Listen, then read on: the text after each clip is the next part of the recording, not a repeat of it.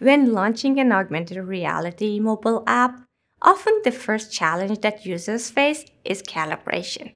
Calibration is a necessary first step in many AR experiences, as it allows the app to align the virtual object to the user's real life environment.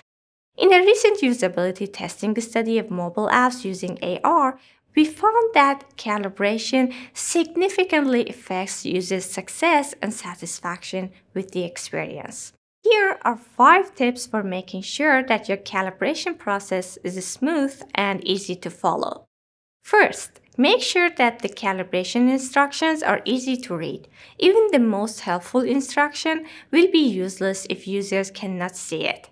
Unlike in other applications where the background is fixed and controlled by the designer, the background in an AR experience changes based on the user's environment, and certain backgrounds may result in low visibility for instructions or other UI elements. To accommodate a wide range of environments and light conditions, consider enclosing instructions in a solid colored box and displaying them in a color that contrasts with the box background like these examples here. Second, make sure your instructions are descriptive and non-ambiguous.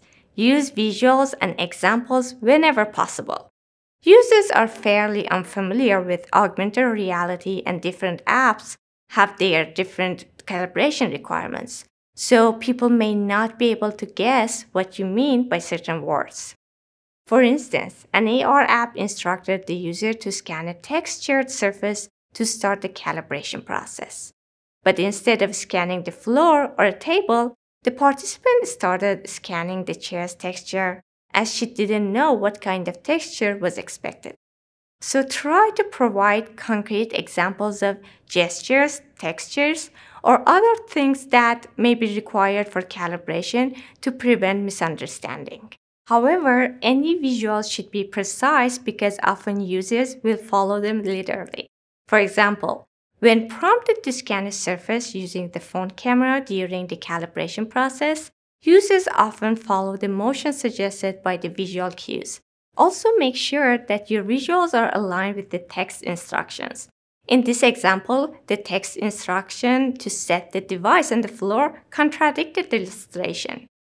Third, Keep users informed of the state of the system using clear standard signifiers. In many cases, users were trying to calibrate the system.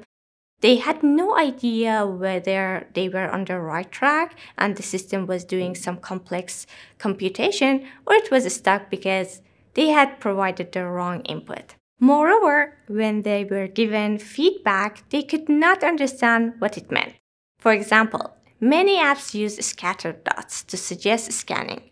However, users had no idea what these dots meant and were not able to understand whether the app was successful or not based on these dots. Fourth, load the AR object within the user's field of view. Many participants struggled to find the virtual object in the environment. For example, one participant who was trying to place an animated character in the room believed that the character had disappeared, when in reality, it had moved behind her. If for some reason the object moves during the interaction, provide guidance using UI elements such as arrows or dotted lines to help users find it. And finally, give users feedback about their actions so that they can recover from error and progress towards achieving their goals.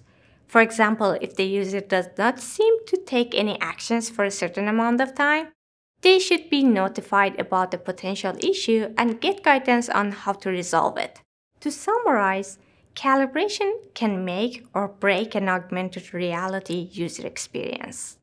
Make sure that the instructions that you provide to your participants are clear and easy to understand. Moreover, let users know if their actions are successful or not and keep them informed of the state of the system using standard, well-known signifiers.